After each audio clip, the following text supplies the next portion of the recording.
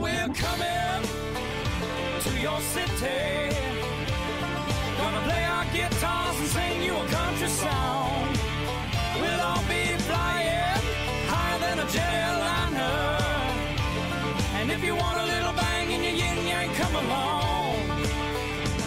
Come on along and welcome aboard Indiana Sports Beats rolling here on this Friday. It's August 14th. Thanks a lot for joining us. We appreciate you as always. Todd Leary is here as well. I'm Jim Coyle. Welcome in.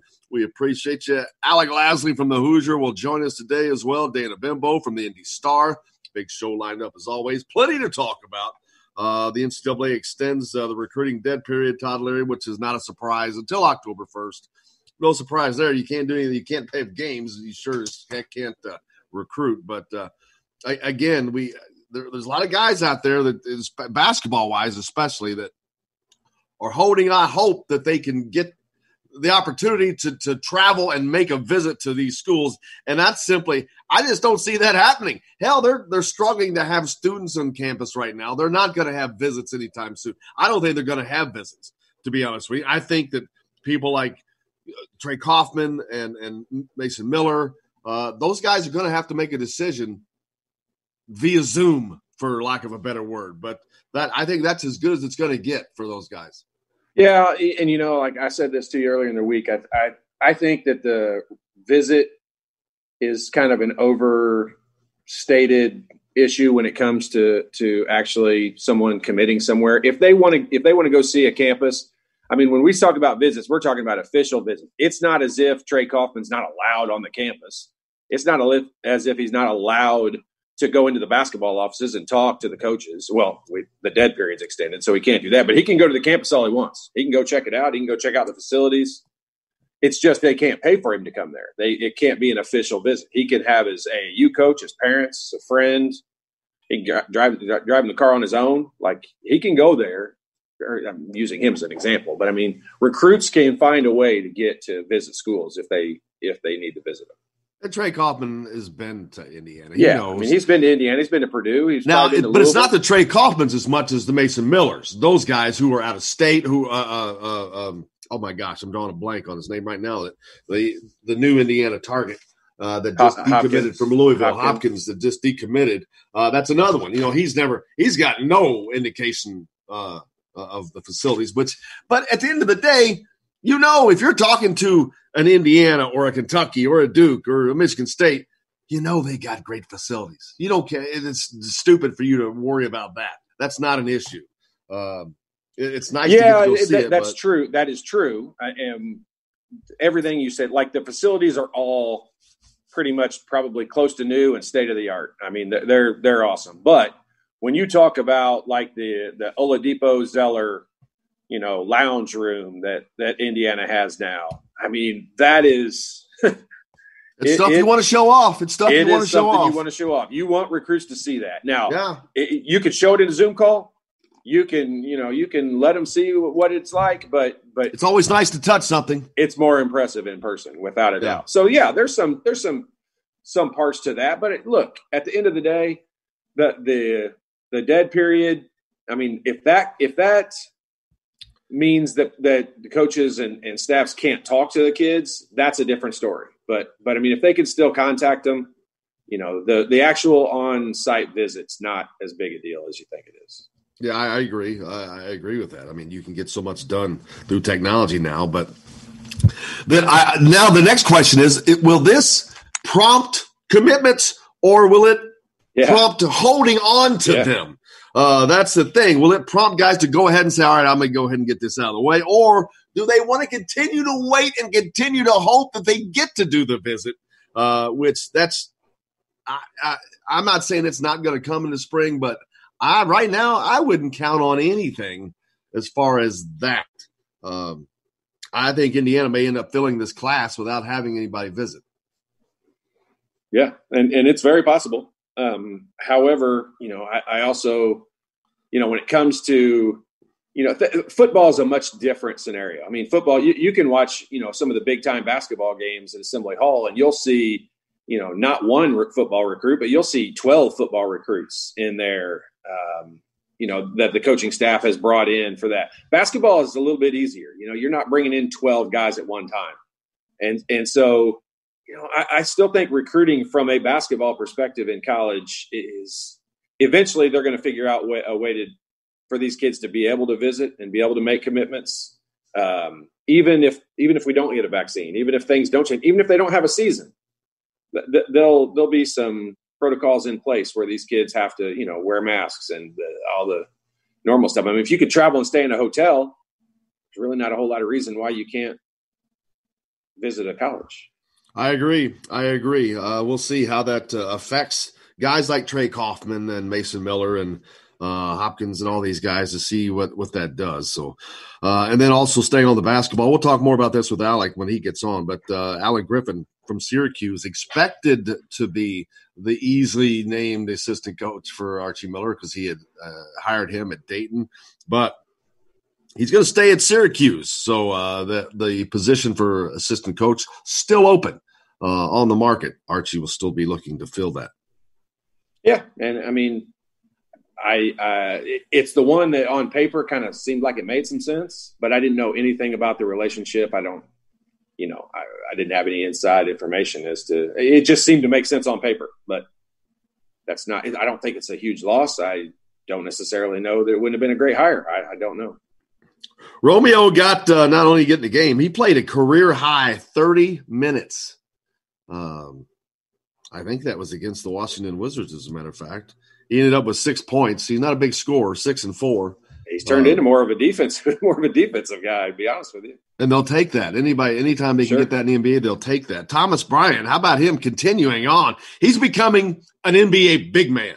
He oh, yeah. had 26 and nine, four steals and two blocks in their 96-90 win last night. Uh, he's becoming a man. He's becoming an NBA big man. Well, I don't know when his contract is up. He just signed what, a nice fatty last year, but I don't know how long it was because I think he's one of those three year. If it is, he's going to be year, loving life too long. Yeah, because well, if he can play this, guys, if he can do this one more year, oh, oh, yeah, for sure. But I mean, he's one of those guys that you'll see you know, I use him as an example, but you'll see like a LeBron James saying he wants to play with Anthony Davis. I mean, Thomas Bryant, I, I, people would laugh for me saying I'm putting him in Anthony Davis's category, but I mean, I'm just putting the idea of him being a complimentary big man that uh, that can really help out a team, and and I could see him definitely being a sought after guy. I mean, he's just putting up numbers game after game. Yeah, you, he's getting there, man. When you put those kind of numbers up, it tells a story for sure. But how about Romeo playing 30 minutes? That's that's quite a departure from from the norm. Yeah, did, did you see like Gordon Hayward didn't play at all, Tatum didn't play at all, Marcus I Smart did not. didn't play at all. Yeah, I mean that, those guys they're sitting out, they're resting. You know, they played an eight game finish to the regular season, and you knew this was going to happen. But the, in this, this is the second week, and you knew in that second week they were going to sit guys out and rest. Help, they started resting guys last week. LeBron rested one game last week, so it's load management. Yeah, load management. Ask, we need to get Archie on and ask him about load management. Yeah. He loves load management. Uh, let's see, spring football. I, I, I really don't know if I'm if I think it's going to happen. If I don't think because initially after seeing Urban Meyer say no chance, uh, seeing Tom Allen's initial response on a Zoom call, but now seeing all these other people Ryan Day or Scott Frost in Nebraska, they are definitely pushing. And then you had Jeff Brohm, who came out with a serious proposal yesterday of a spring football schedule. It would not, it would basically eliminate the Big Ten teams from playing in bowl games and that, but it would be tied to next year. And next year's schedule would kind of be like this. This year's was going to be, but it would get eight games in in the conference games in the spring I just don't know the likelihood of it. But man, they're serious about trying to make it happen. Todd Leary, uh, these coaches are they, they want to play. Yeah, and I and I said this yesterday. They they have to do that. They have to be that way. Yes, I'm sure they do want to play. I, I get that, but from a motivating your players standpoint, they don't really have a choice. Like they they have to say we'll do anything to play. They've got kids that they have put a lot of time and effort into, you know, helping develop and get better. Um, these players have put a lot of time and effort. They want their coaching staff to to be hundred percent supportive and behind them. And I mean, I, am not saying these coaches are, are being disingenuous. I'm just, I'm just saying they don't have a choice. Like they all have to handle it that way. Yeah, so so they go, so they go. But uh, I I think that there's going to be this is going to be taken very seriously now. I think it was not prior to. Uh, when you got coaches that are taking their time to try to come up with a schedule, and I'll be honest with you, I think a lot of people are miffed. A lot of coaches are miffed at the Big Ten. They don't yeah. feel like that they had any plan where these coaches are coming out with alternative plans. The Big Ten's got I, I, nothing here's the first thing that went through my mind. And I don't, this, I don't know that this happened, but this is the first thing that went through my mind. When he put that schedule out, I felt like it was him thumbing his nose at the Big Ten going, Hey, I sat down for 20 minutes and put this plan together, put this plan together, how we can make this work in the spring. You know, how about, how about you put a room full of smart people in there and, and spend a couple days, you know, hammering this thing out. It's figured out. Well, maybe that's the problem. That's what they've been doing, and this is where we are, unfortunately. So maybe they don't. Maybe they just let somebody like Jeff Brohm just do it on their own and, and, and deal with it. But uh, it's definitely going to be something that that Ryan Day and Scott Frost and these coaches and the rest of them, I'd say, would be pushing for. But we've heard so many times, and and Urban Meyer was the one most recently to say you can't ask them to play twice inside of a calendar year. Uh, and I know some people may say, well, why does that matter? It's not the date per se, but it's the wear and the tear on the body. Football season just produces uh, injuries, man. A lot of injuries and injuries that usually take some that take six months to recover from. How long? Guys, how long is eh, when they when they have spring practice? I'm asking this because I don't know. How long is spring practice? Probably the whole thing probably lasts a, a month, month, maybe a month. Yeah, maybe. Yeah. I mean, I, because I was trying to analyze that versus spring practice versus, you know, them going for two and a half months because that's that's in the same calendar year, but it's so much shorter, and they're not killing each other like like no they games. would in a in a game. Yeah, yeah.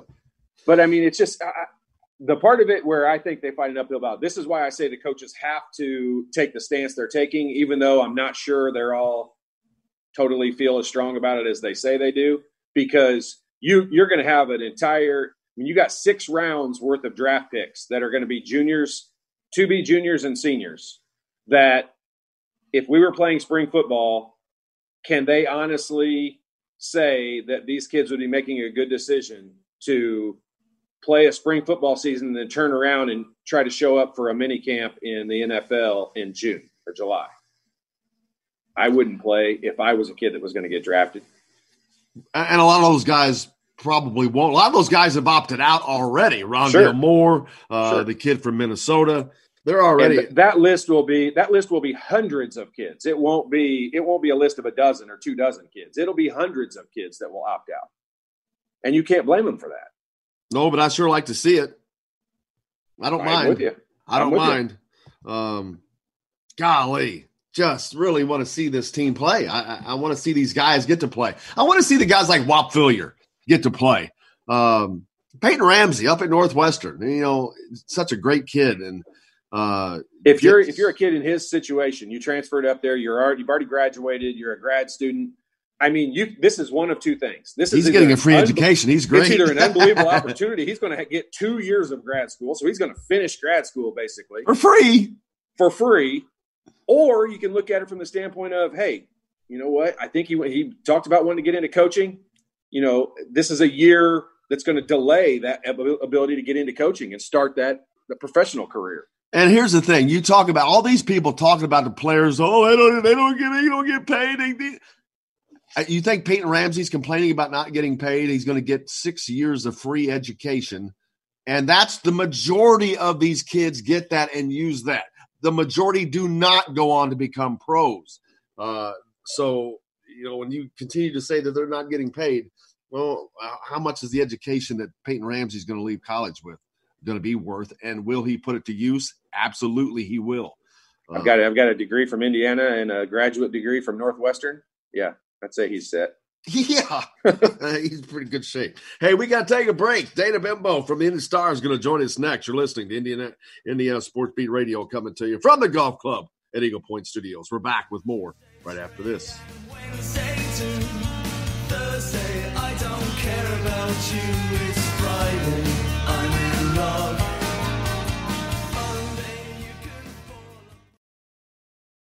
Everybody. Jim Coyle from Indiana Sports Beat. When I'm not covering the Hoosiers, you can find me at Bubba's 33 in Clarksville, located on the northeast corner of I 65 at Veterans Parkway. Bubba's 33 has hand tossed pizzas, bold burgers, and ice cold beer from a select list of local craft brewers. An incredible food selection, all made fresh daily. Whether you're meeting the team for that post win meal in the family dining area or meeting friends for happy hour to watch the game on one of Bubba's 50 TVs, Bubba's 33 in Clarksville pizza, burgers, beer. We all want a winning smile for those championship photos, and that's exactly what you will get at Reynolds Family Dentistry in Sellersburg. Reynolds Family Dentistry has been serving the dental needs of Hoosier families for over 30 years. Let doctors Roger and Jay Reynolds take care of your family. Just off of I 65 at 809 South Indiana Avenue in Sellersburg. Call 812 246 3368. That's Reynolds Family Dentistry, 812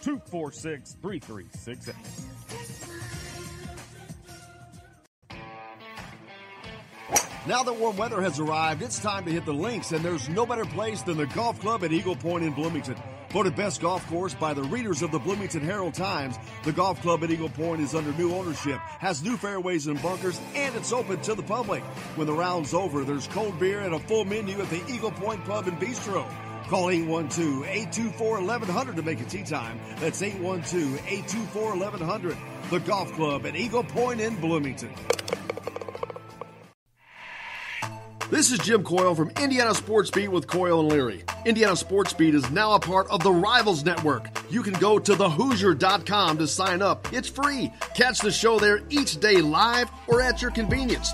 You can also like or follow us on Facebook, follow the show's rebroadcast anywhere you podcast. If we're not on a radio station where you live, we should be. Let your local station know they need to carry Indiana Sports Beat with Coyle Leary or simply go to thehoosier.com.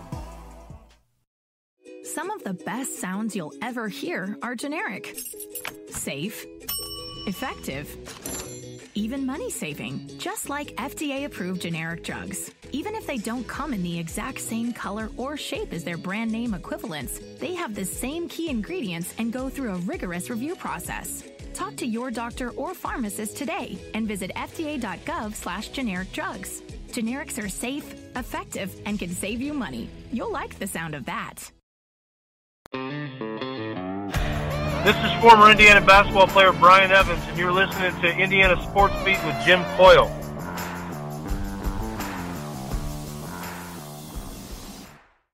Today's guest is brought to you by Reynolds Family Dentistry of Sellersburg. You need a million dollar smile for those championship photos, and that's exactly what you'll get with Reynolds Family Dentistry. Everybody circling this votaries, negative, nepotist. Everybody waiting for the fall of man. Everybody praying Welcome the back to Indiana times. Sports Beat, coming to you from the Golf Club at Eagle Point Studios, of course, on this Friday at August 14th. Joined now by Dana Benbow from Indianapolis Star. Happy to have her along again. Thank you so much for joining us, Dana. Yeah, thanks for having me. Oh, always a pleasure. Uh, Todd here with us as well. Uh, so, how have you been spending your uh, quarantine time? Not quarantine time, but just uh, the pandemic time. It's uh, certainly been a life changing uh, deal for all of us.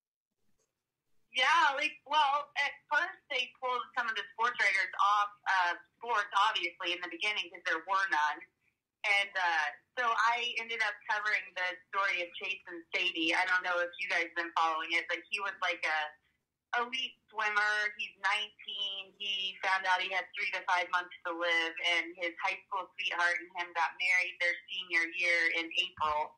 Um, and so he's uh, past three months, and so he's kind of sick right. He's pretty sick right now, but um, he got to find his love of his life, and it's kind of been a touching story to follow. That's that's what I did in the early part.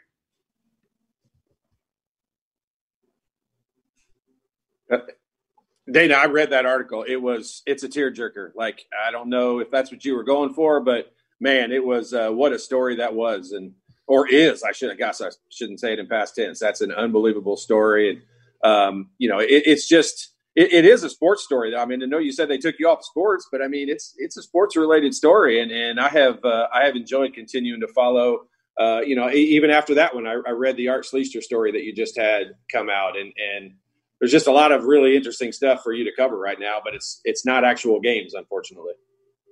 Yeah, yeah. So I was set to go visit Art Schlichter, you know, the so he was the for like young people who may not know, he was the number four, you know, overall NFL draft pick in '82 when the Colts were still in Baltimore, and he was this great player at Ohio State and quarterback, and expected to be this amazing NFL star. And so uh, he's now in federal prison.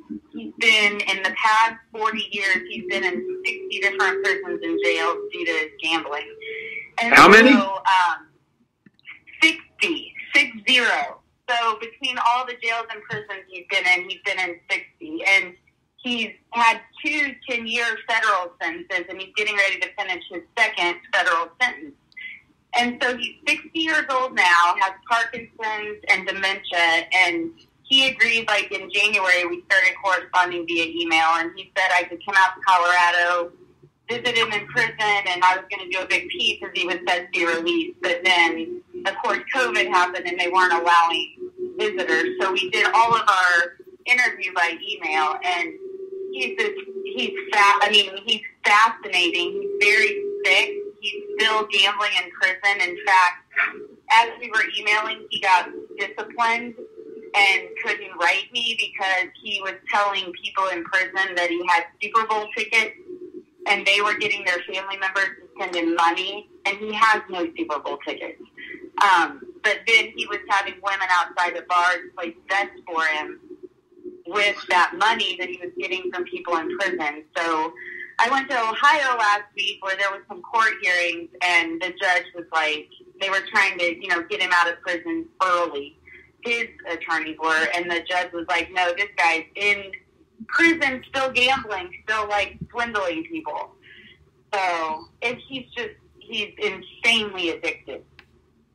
That's just a, uh, it's just a heartbreaking story because you can tell the guy is just, uh, he can't control himself. And and if you are someone who does remember that name, I do. I mean, that especially that was in my childhood, my teenage years. I mean, that was one of those guys, those big time people you looked up to, and it's just it's so sad to hear that, and and and knowing that uh, after all this time, that if he he could do anything, that he would. Uh, if he could do it differently, so obviously you can tell it's it's just a sad, sad story for him. So did did you actually get to communicate? You said you were emailing. Like, were you guys actually corresponding back and forth?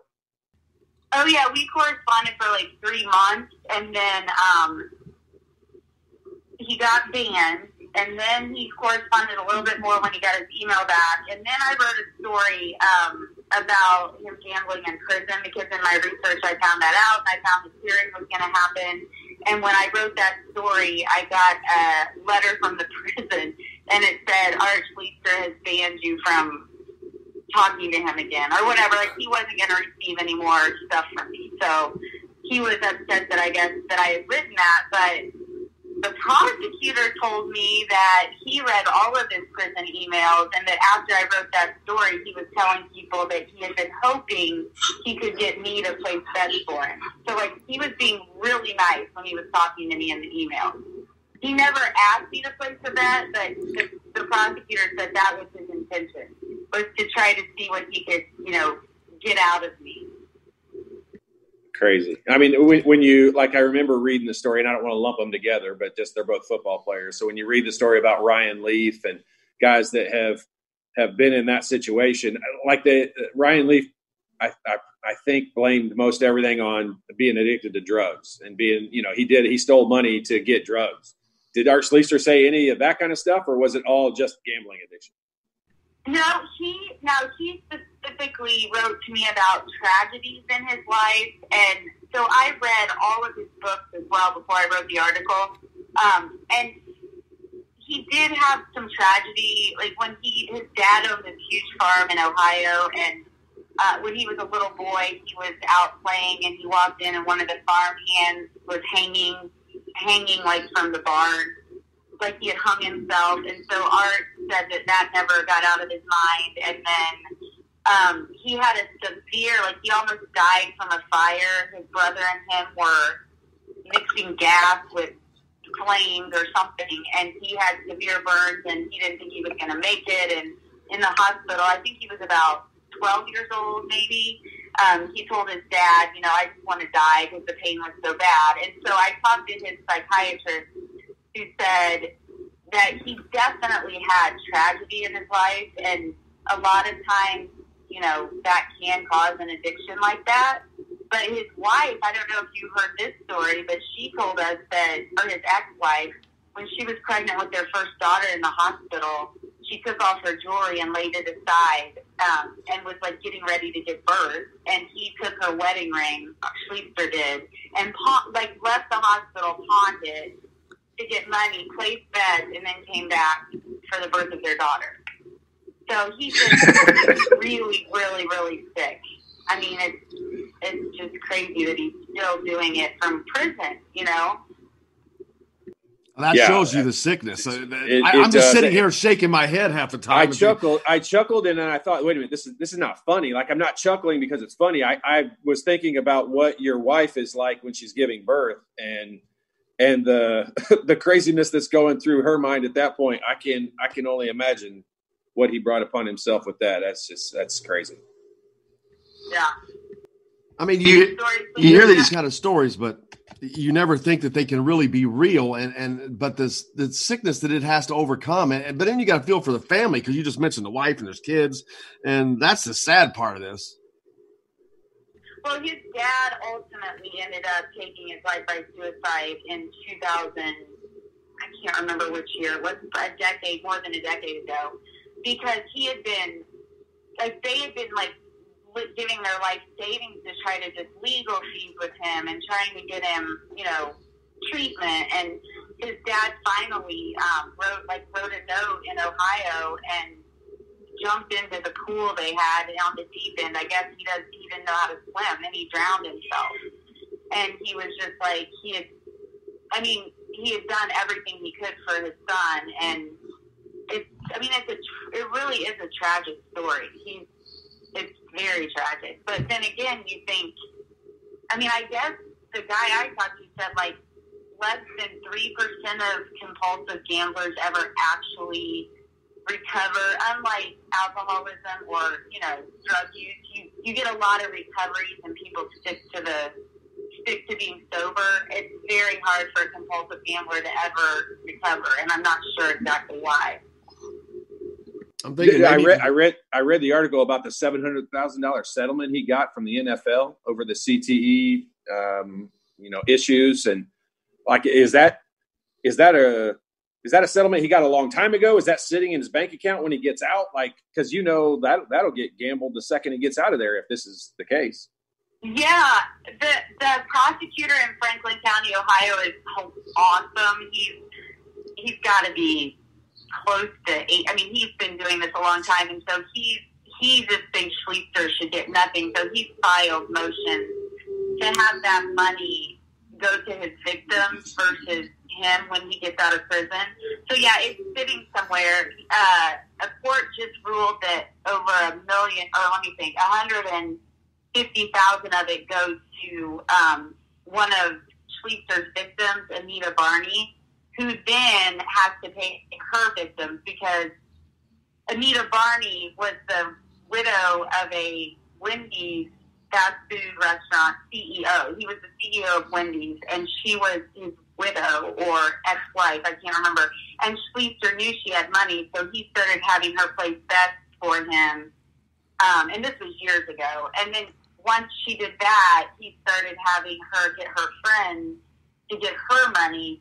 So she ended up being an, a, the major accomplice of Art Schlichter. And so the money from the seven hundred thousand dollars that was supposed to go to her, a court ruled she gets it as a victim, but then she has to pay it out to her victim. So it's like, and so he has a five hundred some left, but I think my guess is those, those are going to be spread among his, you know, hundreds of people he swindled. I was When shocked more by the seven hundred thousand dollar amount he got from the NFL. I mean that's that's a big amount. Oh, and that's what I'm. I need to look into that because I was like, yeah. I mean, maybe is it due to his dementia that he's claiming is from CTE? I mean, I don't know how that all works. Like, how do they decide who gets what?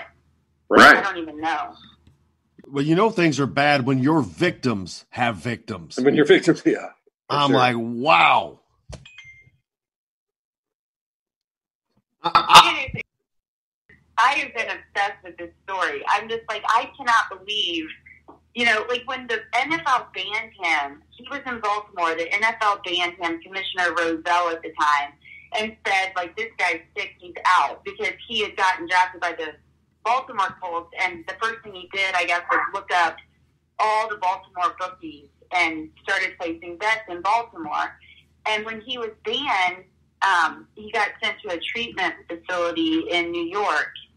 And while there, and this was inpatient, required, can't leave. While there, his mentor that I talked to said he was sitting there visiting him, and a limo pulls up, and they're like, "Yeah, Schlichter needs to go work out," and he was like, "What? You don't get to leave the treatment facility?" And they're like, "Yeah, somehow he got where a limo comes and picks him up every day, and he goes and works out." And so the mentor was like, "You just can see how no matter what avenue in his life, he could get people to do, you know, what he needed to have done for him."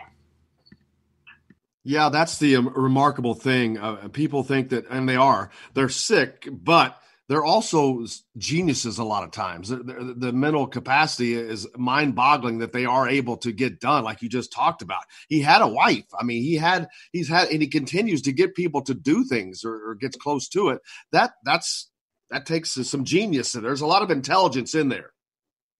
Yeah. He's incredible. So he's set to be released in like nine months from Ohio prison. They're going to transfer him from Colorado this month to finish out his state sentence. And so I guess I'll keep following, you know, what ends up happening with him. Um, but yeah, that's been my big, big chunk of time. Of course, now it's like 500 stuff. So what are you guys? Are you guys having like a big watch party for the 500? What do you, or do you? Yep, yep. Uh, everyone, everyone's invited. We're getting. We're planning on having hundreds of people. No masks allowed. Yeah, we're we're gonna have a big blowout. Yeah, we're just hoping for something uh, sports just every day. We're just like, okay, what are we gonna do today? Uh, but no, looking forward to the. Are you going to Are you going to the race? Yeah, I'm doing a piece on uh, what it's like being there without fans, I guess. Like they'll all be like inside and just, I guess, what it's kind of just a featurey type piece on what it's like being there without fans. So that's my assignment. Before that, I I put a call out for people whose streaks have been broken. I cannot believe the stories I'm getting in of these people and their streaks of going to the Indy 500. Um, the longest one right now is 75 years. Holy cow. going- I know. Another one is a woman who, I think it was 12 years, but two of the years she came while undergoing radiation treatment for breast cancer and was really, really sick, but she didn't want to break her streak. And so that's a cool story. Um, there's all kinds of there's all kinds of stuff coming in. I've gotten like 300 responses, and I'm gonna have a hard time picking. But I- i- Is there like? I guess this is just the soft side of me wondering. Like, is there any way Roger Penske or anybody comes up with? That? I mean, I guess people would just start making stories up if that was the case. But is there any way they get like special passes for people that can prove they've been to the race for 75 years in a row? I know because you know what? That is a great idea. Because the guy who's been one of the guys who's been like 67 in a row, he sent me a picture, and he has these boards with every single ticket. So he saves every single ticket, so he can definitely prove it. I'm Man, sure there's other people like that. let's start a campaign. Get that done. You got th- th- that place is If so you- massively if you can prove you've been to, if you can prove you've been to more than 25 in a row, just send your information in, and Dana will get you a ticket. Oh, man, just- There you go, Dana. Thanks for coming on.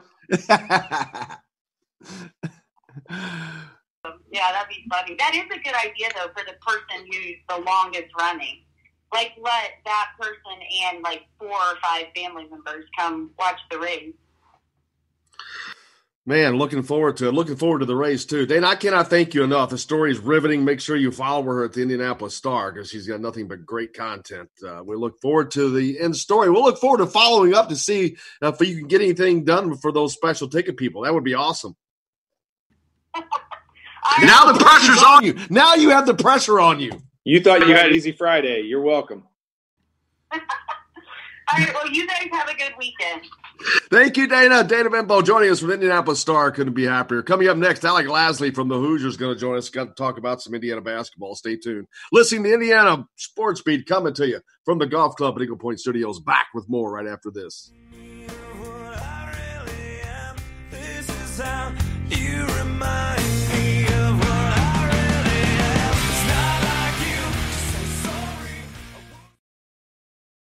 Hello, everybody. Jim Coyle from Indiana Sports Beat. When I'm not covering the Hoosiers, you can find me at Bubba's 33 in Clarksville, located on the northeast corner of I 65 at Veterans Parkway. Bubba's 33 has hand tossed pizzas, bold burgers, and ice cold beer from a select list of local craft brewers. An incredible food selection, all made fresh daily.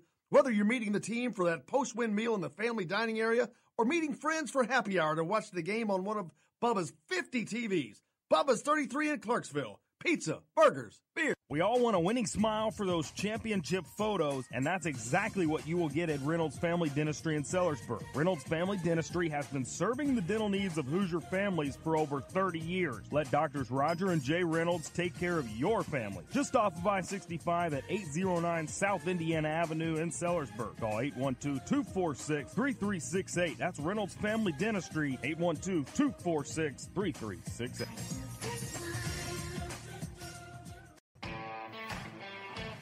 Now that warm weather has arrived, it's time to hit the links, and there's no better place than the golf club at Eagle Point in Bloomington. Voted best golf course by the readers of the Bloomington Herald Times, the golf club at Eagle Point is under new ownership, has new fairways and bunkers, and it's open to the public. When the round's over, there's cold beer and a full menu at the Eagle Point Pub and Bistro. Call 812-824-1100 to make a tea time. That's 812-824-1100. The golf club at Eagle Point in Bloomington. This is Jim Coyle from Indiana Sports Beat with Coyle and Leary. Indiana Sports Beat is now a part of the Rivals Network. You can go to thehoosier.com to sign up. It's free. Catch the show there each day live or at your convenience.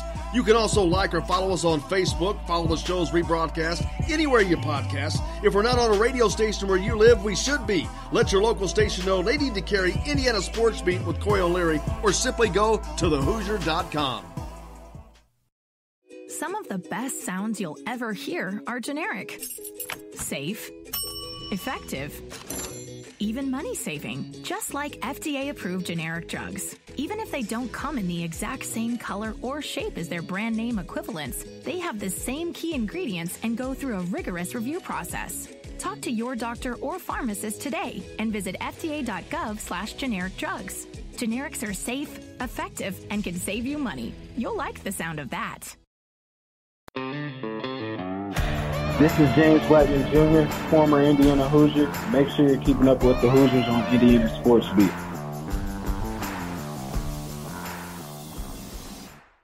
Today's guest is brought to you by Reynolds Family Dentistry of Sellersburg. You need a million dollar smile for those championship photos, and that's exactly what you'll get with Reynolds Family Dentistry. Turn all of the lights on Welcome back to Indiana Sports Beat. Of course, coming to you from the Golf Club at Eagle Point Studios on this Friday. It's August 14th, joined now by Alec Lasley of the Hoosier.com. A lot of news uh, for Indiana basketball, Alec. Uh, recruiting information. We've got uh, NCAA putting, uh, again, extending the dead period through October 1st. Uh, so no visits. And that lays into one of the targets uh, that you, you actually got to speak with, it looks like. Yeah, exactly. And obviously, I know the the big news over the last week on the basketball front was you know Bryce Hopkins decommitting from Louisville, uh, former Indiana target in the class of 2021. Uh, actually visited Indiana last year before he ultimately committed to Louisville. But yeah, he had a Zoom call with with Indiana last night, uh, just kind of a refresher uh, from the from the original visit. But he said things are going really good with with IU as it currently stands.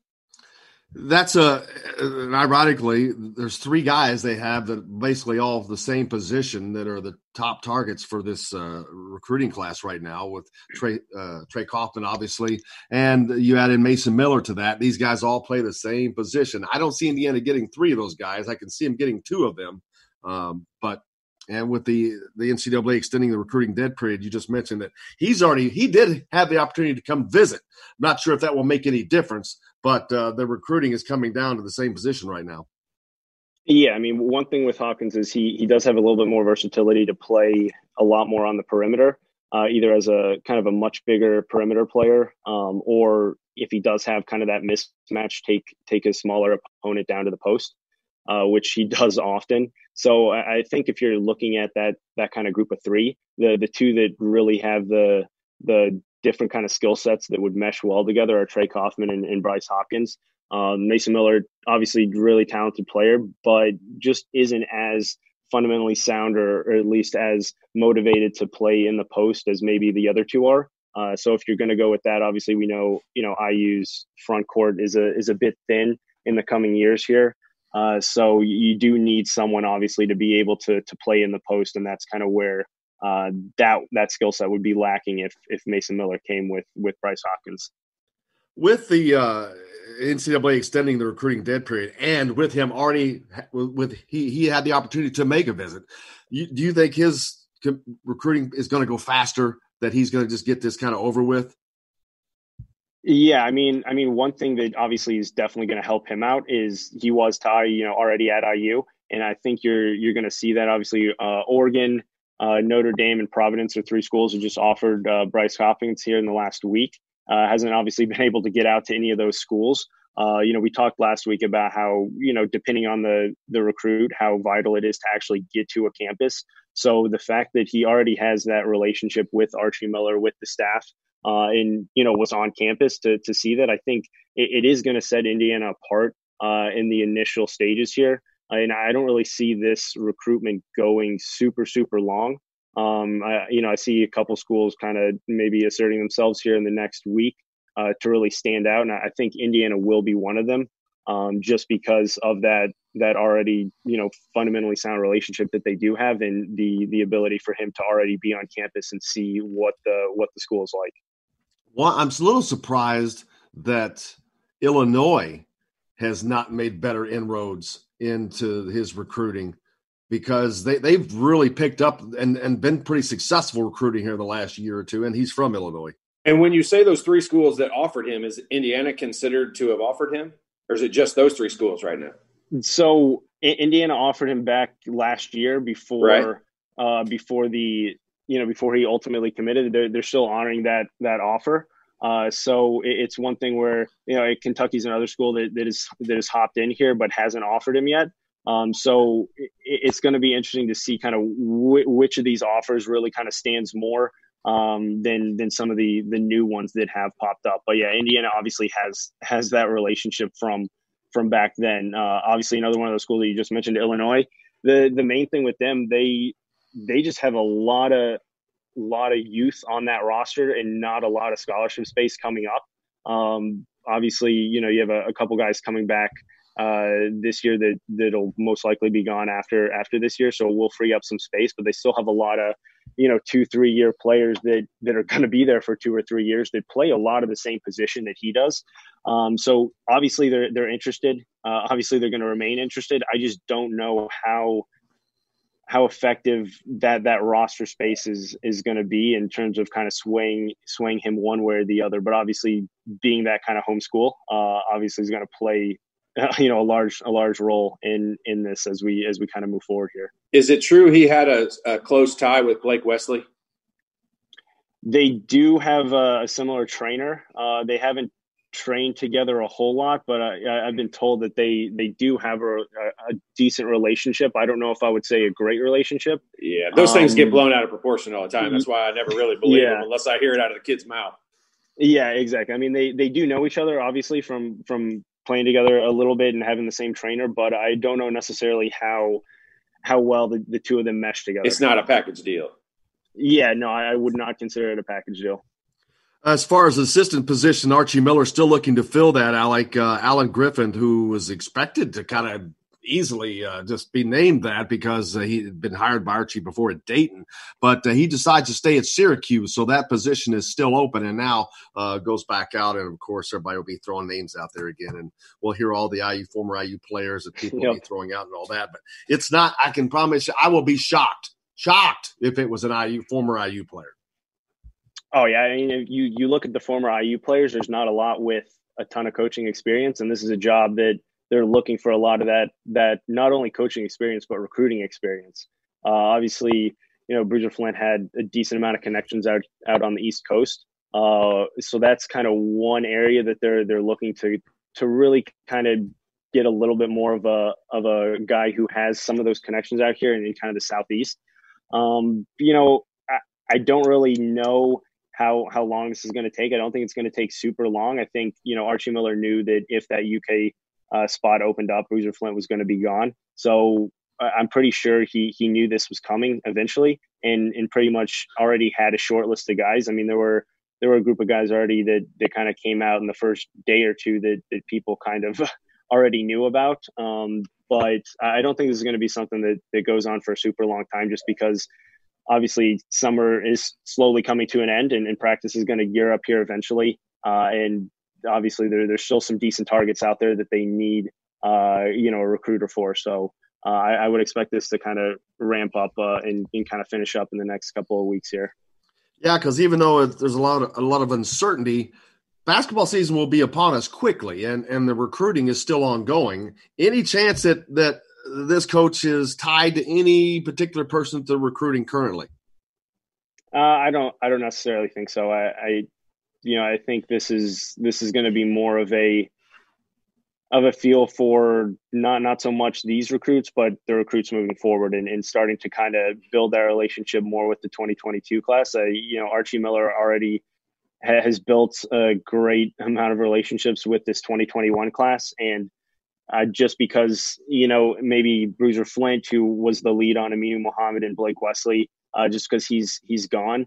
Um, you know, it's not to say that that Archie Miller really hasn't been the lead uh, on those two, because obviously that the head coach is going to have the last say in everything, and the head coach is going to be the one that that is really going to need to have the best relationship with not just the recruit but with the family.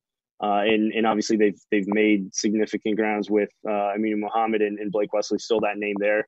That I don't think him leaving is really going to impact too much from the 2021 class.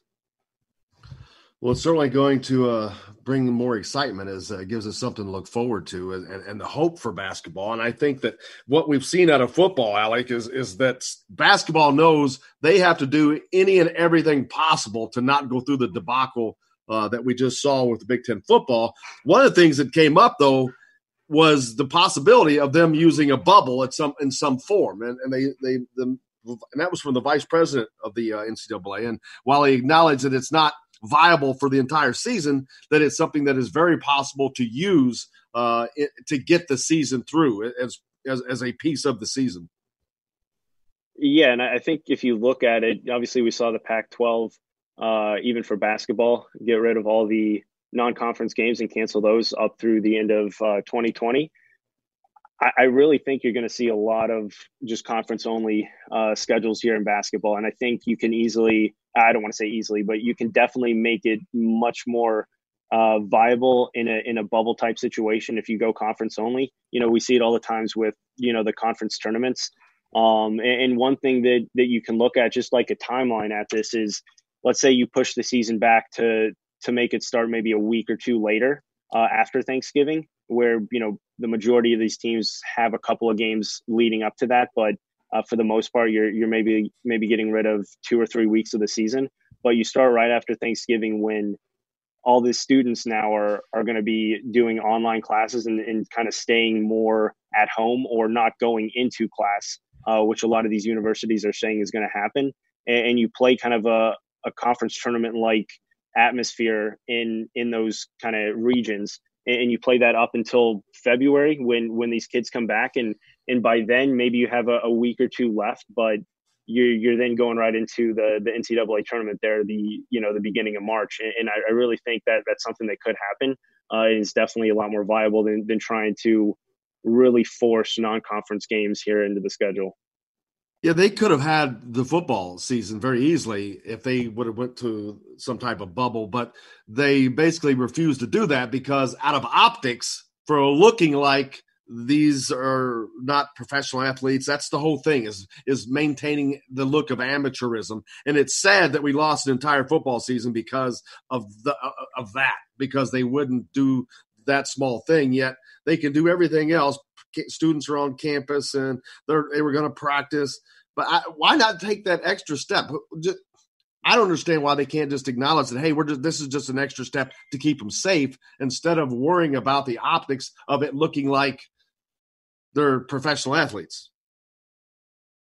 Yeah, I mean the the one thing that that I struggle to kind of uh, wrap my mind around for for football is how exactly they would do, you know, kind of more of that that bubble. Obviously, you can kind of say it's a bubble with with them being on campus um, if the kids aren't there, but it, it's just a lot more difficult with with so many more staff and so many more team members to to really make that.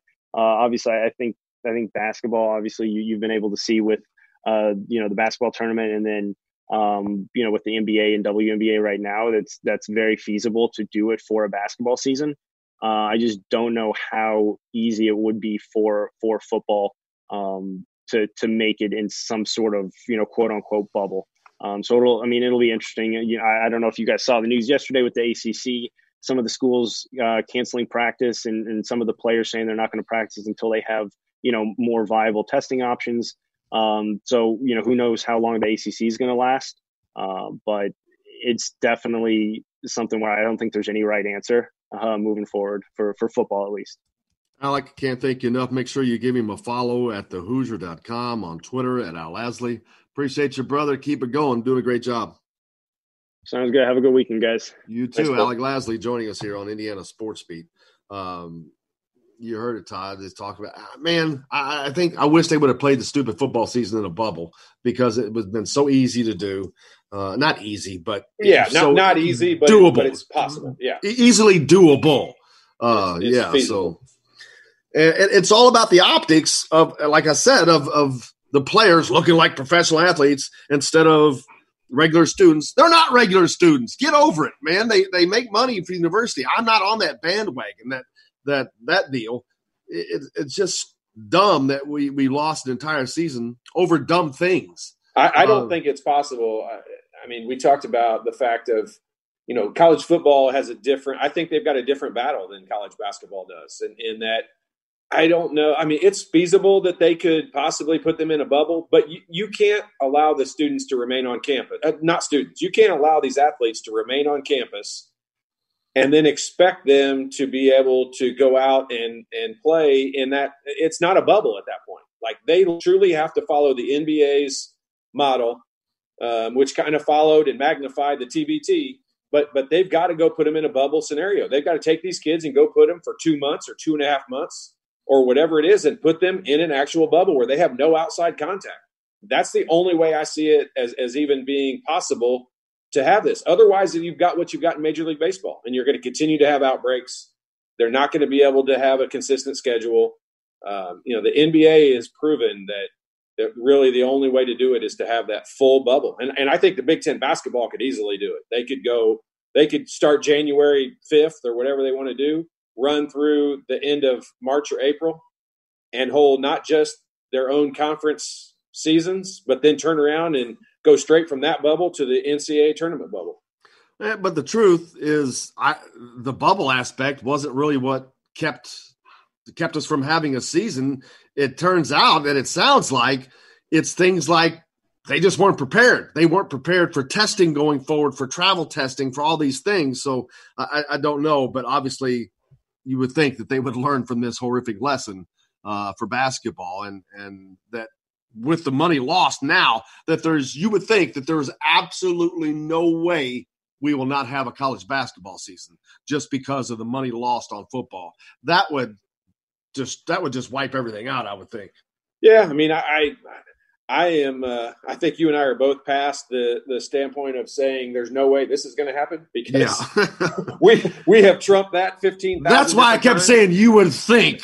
yeah, you, it's true. I mean, you would think that they would try to do everything possible, but um, you know, and and so in saying so, I guess I'm saying it is feasible to to have a, a college football bubble, but maybe it's not. You know, I, I would you would think they would do everything possible to have some type of season, even if that included a complete bubble and, and taking the Big Ten teams and putting them all in a city and you know shutting half the city down and, and taking up all those hotels and um, but but I mean, maybe it's not feasible. Maybe it's not. Maybe financially, it's not possible because I can't yeah. imagine they wouldn't have done it. One would think, wouldn't would they? Man, it's been a, another great week uh, as far as a great guest. We appreciate everybody so much, as always. Uh, the lifeblood of what we do here, Dana Benbow today. We appreciate her from the Indianapolis Star. Great, great story. Great. And there's going to be more coming from that. And let's hope that she can get, let's hope she can find a way to get those people into the race, man. That would be incredible. That'd be cool uh, to see that we'll look forward to that. But uh, uh, looking forward to the race coming up soon too, as well. I guess that's next weekend, I believe. So yep. So we'll be back next week to do it all over again. Make sure you uh, follow Alec Lasley at the Hoosier for complete coverage of Indiana and Big Ten. For uh, Jimmy, for Todd, I'm Jim Coyle. Until Monday, I will see you on the radio.